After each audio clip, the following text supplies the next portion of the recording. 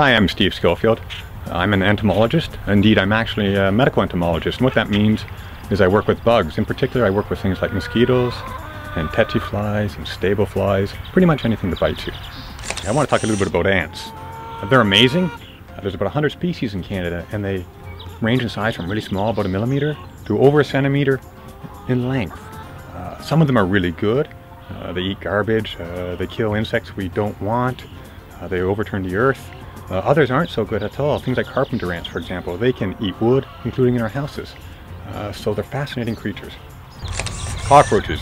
They were here well before the dinosaurs, about 400 million years ago. They'll probably be here long after we are gone.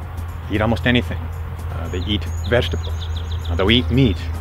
Uh, and they're very adaptable. They live in houses, they live outside of houses. We find them almost everywhere. Indeed, they can even be problems because they cause allergies and they can transmit pathogens that cause diseases. Crickets, you've probably heard me in the evening. I make noise. Sometimes I keep you awake. I rub my wings together. And that keeps us up at night. But I can actually do good things as well. For example, when I'm outside, if I'm a field cricket, I can do things like eat grasshopper eggs. And that means that grasshoppers don't become a problem in gardens or fields or other things. Uh, so I'm actually quite a useful insect. Dragonflies are quite interesting. Indeed, as a larva, they're kind of like the great white shark of the insect world. They'll grab other insects, they'll grab tadpoles, they'll even grab small fish.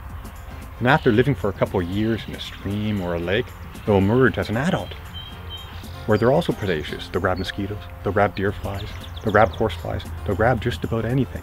So we really like dragonflies because they actually get rid of a lot of the insects we don't want to bite us. There's lots of different types of fleas out there, but we usually find them on our cats and dogs. Indeed, the type we usually find is called the cat flea. Now we all know that they're blood feeders. They feed on dogs, they feed on cats, they even feed on humans. Perhaps you didn't know they're the champion jumpers of the insect world. They can jump about a foot and a half high. If they were a human, that means they could jump right over a skyscraper. You've probably all heard grasshoppers. They rub their wing and their legs together to make noise. They're vegetarians. But they can do a lot of damage uh, to field crops. But what you probably didn't know was that grasshoppers are considered a delicacy in many countries, where the people quite enjoy grabbing and eating as many grasshoppers as they can find. Okay, Japanese beetles. You might think I'm pretty as an adult.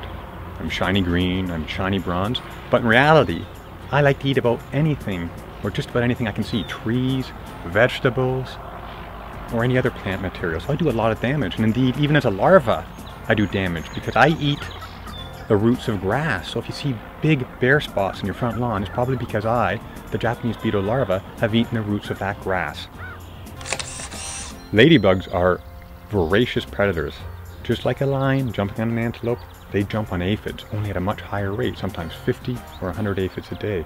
Indeed, over their lifetime, an adult ladybug can eat several thousand aphids. As a result, they can be very important in our gardens where they help to control the pests that eat our food. I love mosquitoes. It's what I do for my job. You probably all know they feed on us. Perhaps didn't know it's only the females that feed on you. Now what the females do is they land on you and they jab their drill right into you. Now sometimes we think they go into a blood vessel, but that's not always the case. What they might do is jab their drill into you and scoop around looking for a little bit of food. When they find it, they suck it up over about a minute or two.